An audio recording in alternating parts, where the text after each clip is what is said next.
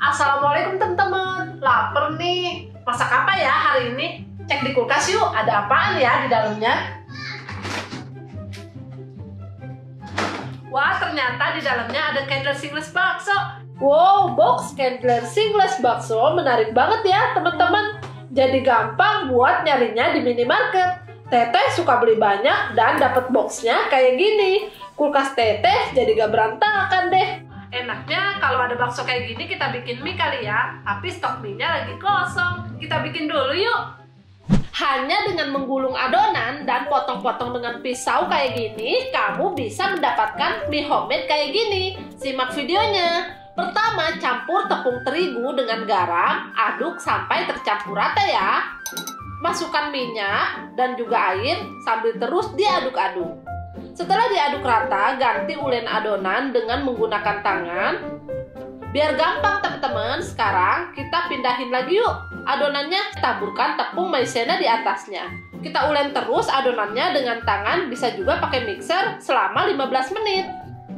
Nah teman-teman, semakin lama diuleni adonan semakin lembut dan kalis. Tuh kalian bisa lihat sendiri kan hasilnya. Setelah diulen selama 15 menit, bentuk adonan menjadi bulat, Kemudian bungkus adonan dengan plastik wrap tujuannya supaya tidak kering. Bungkus rapat, kemudian simpan di kulkas selama 2 jam ya. Setelah kita diamkan, ambil lagi adonan dari kulkas, buka plastik wrapnya, kemudian bagi menjadi dua bagian. Sisanya bisa kita simpan dulu teman-teman. Sebelum diulen lagi, jangan lupa taburkan tepung maizena secukupnya di pastry mat, pipihkan adonan hingga berbentuk bulat dan tipis. Gunakan rolling pin agar hasilnya lebih tipis ya, teman-teman. Kita gilas-gilas terus. Oke teman-teman, setelah ketebalan sudah sesuai dengan yang diinginkan, selanjutnya lipat adonan dengan cara seperti ini.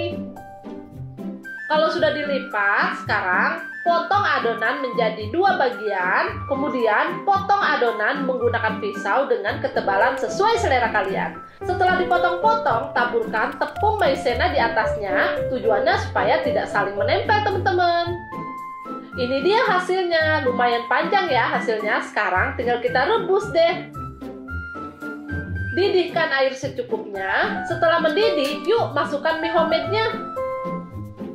Nah teman-teman karena ini tipe mie yang lembut bukan kenyal gak usah lama-lama ya merebusnya cukup semenit aja.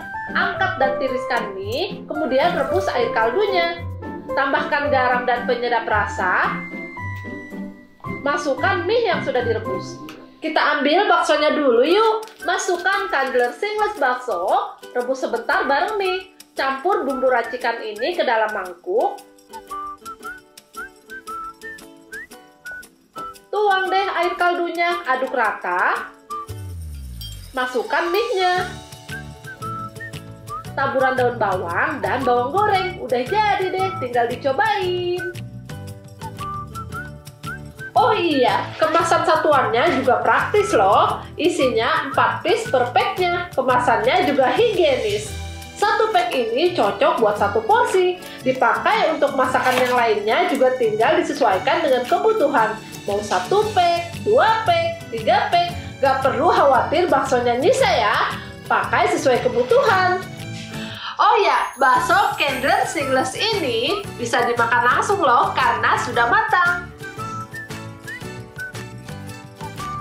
Wow, dagingnya nggak kaleng-kaleng, berasa banget loh teman-teman. Cocok nih buat bekalin kakak Pakis jadi bekal sekolah, praktis banget karena udah matang. Waktu memasaknya pun lebih cepat. Kita cobain yang sudah direbus yuk.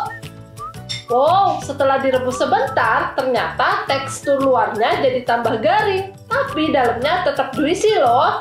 Rasa baksonya bener-bener berdaging banget, kayak nggak ada tepungnya gitu. Kalau kalian pengen rasa keju, ada juga loh, karena Candler Singles Bakso punya dua rasa original dan keju. Pantesan final teman-teman, karena sumpah ini bakso mantep banget dimakan sama kuah pedas. Kalian wajib cobain ya, ini beneran cara ngebakso paling update. Selamat mencoba ya teman-teman, semoga berhasil. Sampai jumpa di video berikutnya.